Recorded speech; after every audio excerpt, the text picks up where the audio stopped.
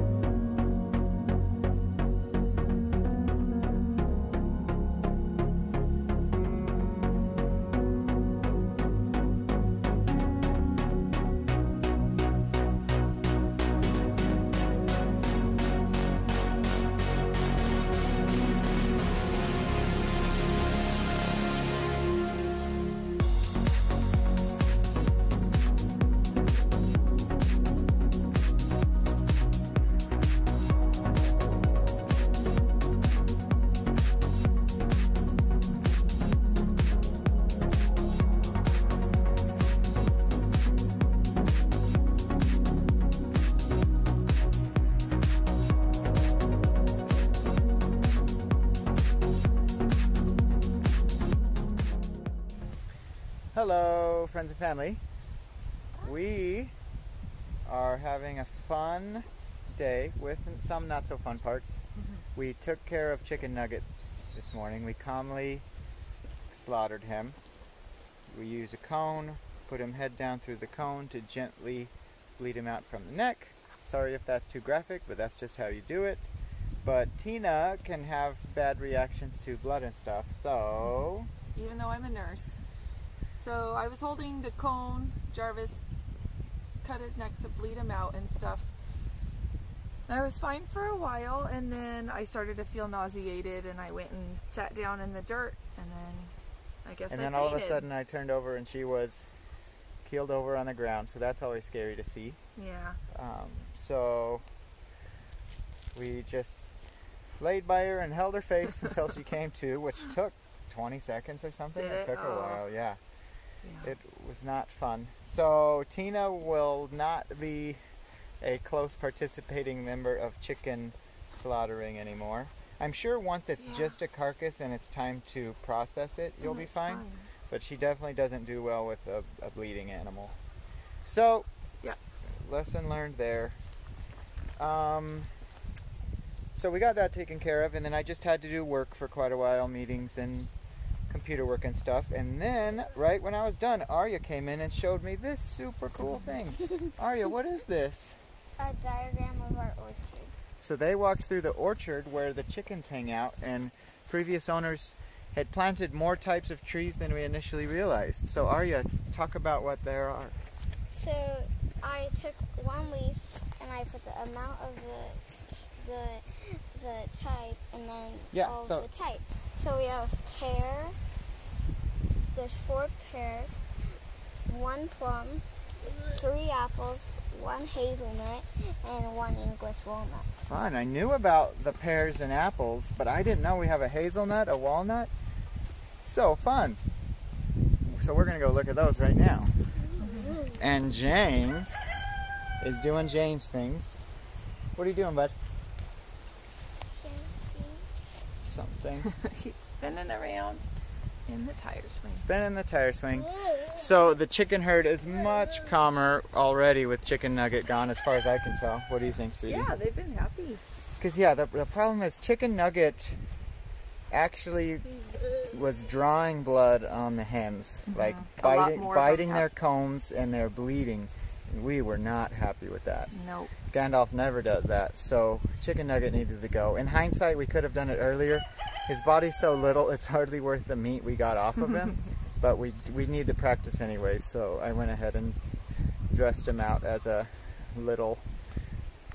Tiny, like- how many it's pounds like do a, you think he was? I, I don't know, two or three, maybe four. I, am not a good judge of that, but it's just so much smaller than like a Costco chicken. that, yeah, That it's pretty funny. Really plump. I think part of my problem this morning, we did it first thing before even eating breakfast, and I'm pregnant, which affects my Yeah, head more. that's okay. Hopefully Poor we'll tender-hearted Tina. I She's the nice, really did one. not like chicken nugget, but I still felt for him. Yeah, it's not like we were high fiving saying, "Let's kill this rude No, guy." not at it's, all. It's, it's serious business to kill an animal. It's sobering. It's calm. We talked through. James was with us. Sorry, you didn't want to be there, but James was with us, and we talked about we're being calm. We said, "Thank you, Chicken Nugget, for doing your part on the farm." Sorry, you're not a hen that gets to stay and lay eggs for us. and since you're a rooster that we don't need, then you got to go. So we took care of that, and we should show them the exciting new development about some of our younger chickens, and then show them the goats. Okay. Let's go. All right, this is the first of a segment we're gonna call Creature Report. Creature. Report. Creature Report. So, first creatures, Harry and Ron. How have Harry and Ron been doing? Whiny butt. Good boy. So they're eating. They look really healthy. We're happy with what they're doing in this pasture. There's more and more stalks without leaves on them by the day. There's plenty more for them to eat, so we'll keep them here a little longer. But the, the good things are they they look healthy and they're eating the plants we want them to eat, which is everything in here, especially the blackberry. Um, so the one kind of problem, not a huge problem, but they they whine at us when they see us. They want us to give them attention and give them grain, but they have an important job to do to be going out around the farm eating blackberries. Not quite yet. They, their job isn't to be our pets. We're trying to train them to not whine at us by not feeding them grain constantly, not petting them constantly. We just kind of give them their water, make sure they're okay, and then every few days we'll give them grain. And if they calm down on whining, maybe we'll pet them and give them grain more. But we've got to train them not to whine at us. Our neighbor and friend had goats, but she recently got rid of them. One of the reasons was they were stressing her out because there's a bunch of whiny goats always wanting something from her, and that caused her a lot of stress. So we don't want to end up down that path. so one of the other things we might do is just move them further away from us if they're whiny all the time. They can go far away. We can give you a close up. Oh yeah, the, they want to. We skipped grain yesterday, but they want to feed them grain today. I can go get them. You're going in? I'm gonna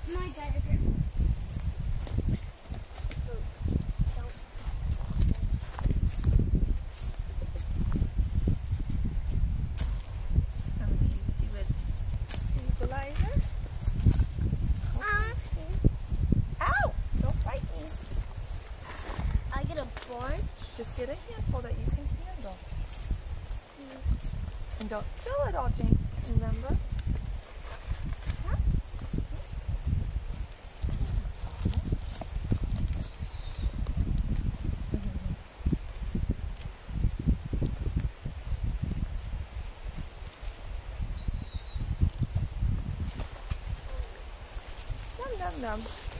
All right, so to summarize goat status, healthy and whiny.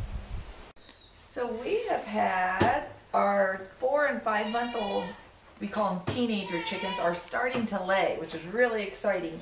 So we'll go out and have a normal size egg like this. But then this is a little cute teeny egg. We have some California Grays and they lay these really white eggs. And then This is uh, Sarah's egg. She's a buff Orpington. a Buff Orpington uh, Uh, laid eggs. So we have three little tiny eggs and we found one each in the last three days. So we're getting a beautiful array of all these different colors. This is super exciting because our herd is some old ladies and some very young girls. and we're not getting very many eggs Daddy, relative to the amount of chickens we have. But it, these these four month old hens get six, seven, eight months old and start laying a lot of eggs. That's going to be really exciting.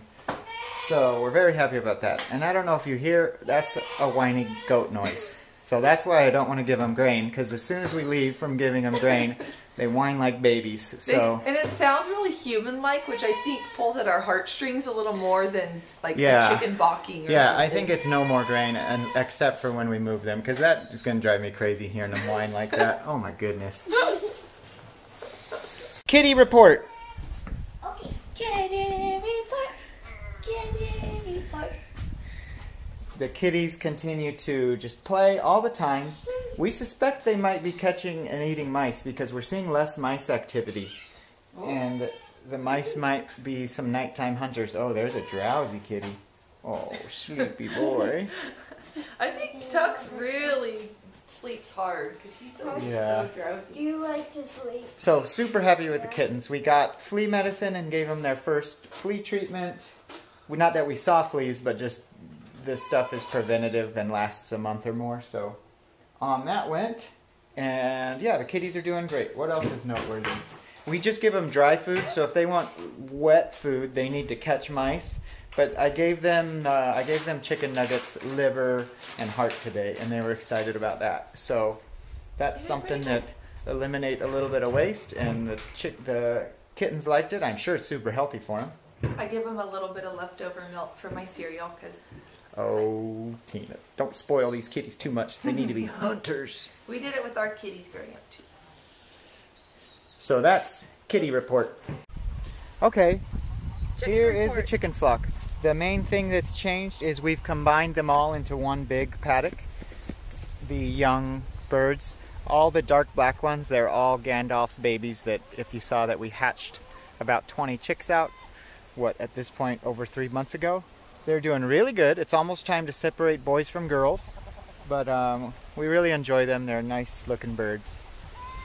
And real quick, so this girl here, that's Sarah. She's one of the four month old birds we were talking about. She's We we think she just laid her first egg. And those two white birds out there, we think laid their first eggs. They're Chicken Nugget sisters. Chicken Nugget was supposed to be a girl. If he was, he would still be here. And these are all, most of these here are the old ladies that are past their prime, but still laying a little bit. James loves to pick up Specky. Gandalf is, of course, our gray boy running out there. Yeah, the chickens are doing really well. Really happy to have them. Really like have, moving them around in this area. This is where Tina and the kids did that um, that tree tree survey. So Tina said that that tree there is the plum tree. Now, where's the al- the walnut and the It's hazel? in the back corner. You can go, go right Right, like past past the pen back there. Yeah, on the other side. Okay, so Tina said that there's a walnut and a hazelnut back there. The walnut's very small. The hazelnut gave me an indication. It's a ton of It's probably like seven or eight small Okay, looks kind of like a shrub almost. small shrub, and then um, its leaves have kind of more of a curled look to them. Okay. So, I think it's hazelnut. Yeah. And the walnut, it could be an ash, but I think it has some buds on it that could be walnuts. Cool. And the leaves are slightly different than the Oregon ash we've been seeing around our property. So the creatures are doing well. If the goats are too whiny, close to us at the shop there, we might actually move them out. We're, we're thinking about even trying just having the goats in the same pen as the chickens. That could be fun. I think they would all get along fine. It's not like goats eat chickens or something weird. So there's plenty of blackberry and stuff out here. So we're thinking about trying that. Anything else? Any other creature report? James? Bunny! Oh, our bunny. Let's oh, go look at our bunny. More than she wanted to. There's our girl. Luna the bunny. She's about a year now. She just hit a year or will be this month. Yeah, I think it was July 29th. Oh, look how snuggly she is. Arya's been doing a good job. Arya will come out here by herself and sit in the pen with her and pet her for a while. And give She's a really cozy rabbit. James Her is rubbing treats his are cheek. on- Lettuce butts and Apple cores, apple cores and carrot some ends. carrot ends. Yep. She's a good girl. Does she have a favorite, Arya? Out of all of those, she really likes lettuce, cabbage, and apple a ton. Okay. She just loves everything. She's chubby. Okay. Thanks for watching our creature report. Creature report. creature report. Okay, I decided to try digging by hand first for these nine footer locations because the excavator bucket is two feet wide and uh, an overly big hole is a problem because we want to isolate the concrete to a fairly small area and keep the rest of the dirt around it very compact. So I'm going to do my best to dig this by hand. It's not going to be fun and if it's terrible I'll use the excavator and then reduce the size of the hole afterwards. We'll see.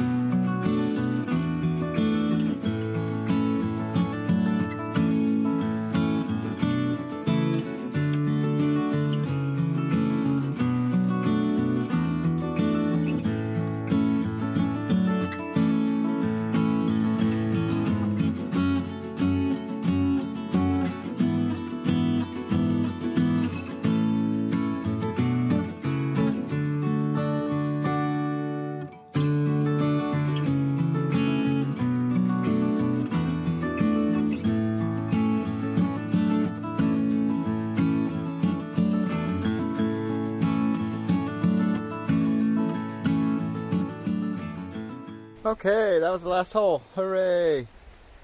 Nine holes. Nine holes.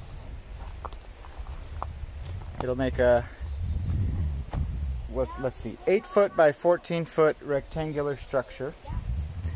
There will be a 2 foot offset from the door, and then it'll run at a right angle that that door runs at. How you doing, sweetie pie? Good. I need your help for my flagpole for my American flag. All right, American flag. It's almost 4th of July. Happy Independence Day. We are gonna celebrate finishing up this digging with some steaks tonight. Let's go see what else Tina's making. Oh, I'm all done digging. Tina's That's making her. You're making your famous kale salad. Kale salad, mushroom rice, and big old ribeye steaks. Yep. What should I fire up the grill? Is it almost time? Not yet. We need, it's gonna be about 20 minutes till we can eat. Okay. Okie dokie. James, how how have you been wearing a sweatshirt and sweatpants the whole day? You don't feel hot? And I have a t-shirt. And a pajama shirt? What's that about? All day. All day.